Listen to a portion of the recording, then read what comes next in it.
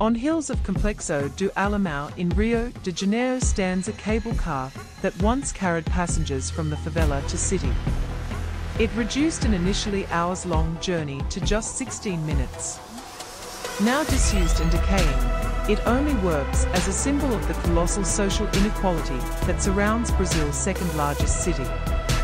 Open to critical acclaim in 2011, Teleférico was part of a major citywide urban renewal program launched ahead of the 2016 Olympics.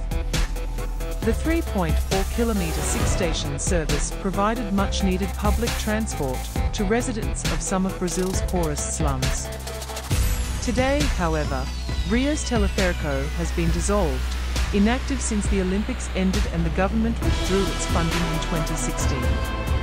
The airlift is a typical Olympic ruin, according to Mariana Cavalcanti, an associate professor at the Institute for Social and Political Studies at Rio de Janeiro State University.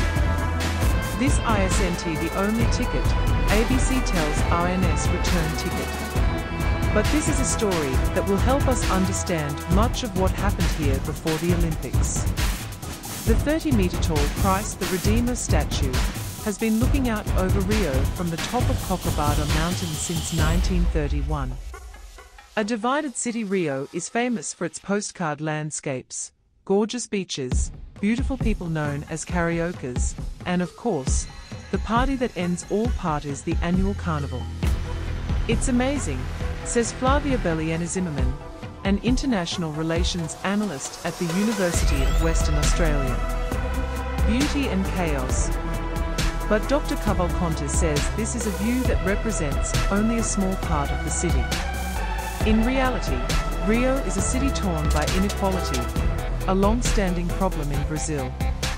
In 2021, the richest 10% of Brazilians earned 41.5% of the country's income. The poorest 20% of the population earned just 3.3%. 6% of Brazil's population lives in slums, which are informal settlements usually located on the outskirts of major metropolitan areas. A fifth of the locals in Rio live in these neighborhoods.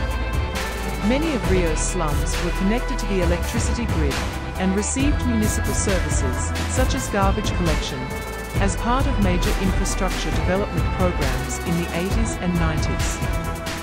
However, many still lack basic services such as transportation and sanitation. Drug trafficking is rampant in these poor communities, and hundreds of slums are under the control of criminal gangs.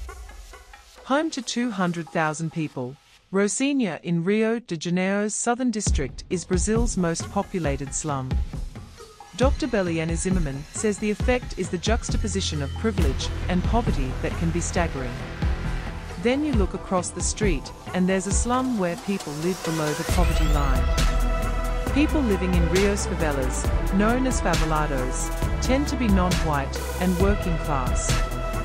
The more European you look, the richer you are in Brazil, says Dr. Bellieni Zimmermann. This inequality has its roots in Rio's colonial past.